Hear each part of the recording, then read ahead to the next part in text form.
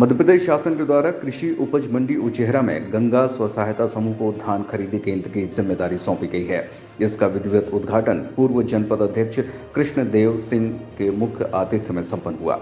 इस अवसर पर प्रमुख रूप से नगर परिषद के अध्यक्ष निरंजन प्रजापति, शिवेंद्र सिंह और राघवेंद्र सिंह पटेल विशेष रूप से मौजूद रहे। बता दें कि किसानों को सुविधा देने के लिए कृषि उपज मंडी में धान खरीदी केंद्र का शुभारंभ किया गया है और यहाँ पर धान खरीदी की जा रही है। शासन के मापदंड के अनुसार किसानों को सुविधा भी मुहैया कराई जा रही है।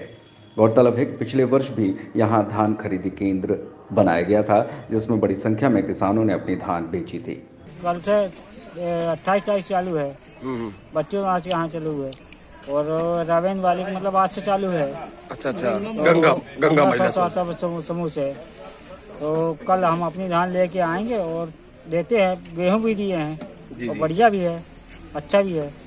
तो आपकी धान तोली गई आज की नहीं तौली जा रही है? आज अभी नहीं अभी लाए नहीं है। अच्छा आने अच्छा। वाले। अच्छा जैसे कुछ बोला जा रहा है कि यहाँ जगह का अभाव है। जगह? वो है तो जगह कहीं और बनाया जाए ना इनकी तो पर साल भी यहाँ तोली गई है। अच्छा क्या नाम लिखते हैं साहब आप? जी? क्या नाम लिखते हैं? भागवत सिंह परिहार। किस गाँव से हैं आप? कुंदहरी कला।